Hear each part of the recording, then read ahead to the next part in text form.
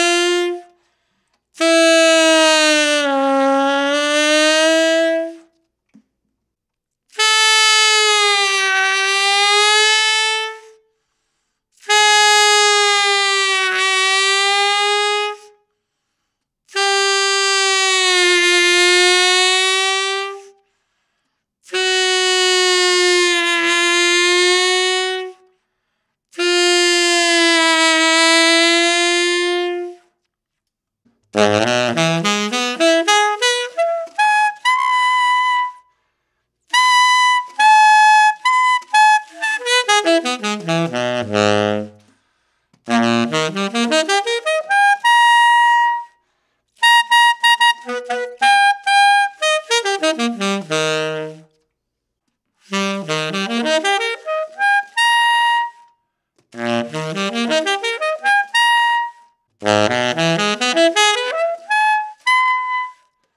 right, so that's it for the test. If you have any questions, please uh, contact me. You can put a comment in the comment field below.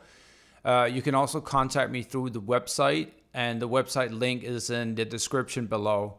If you're interested in having your mouthpiece refaced, or if you want to just talk to me about like what it could actually do for one of your mouthpieces, uh, contact me through the website as well. If you enjoyed this video, please click subscribe and also remember to click on the bell button so that you get the notifications for whenever I put out new videos. And thanks again. Have a great day. Bye.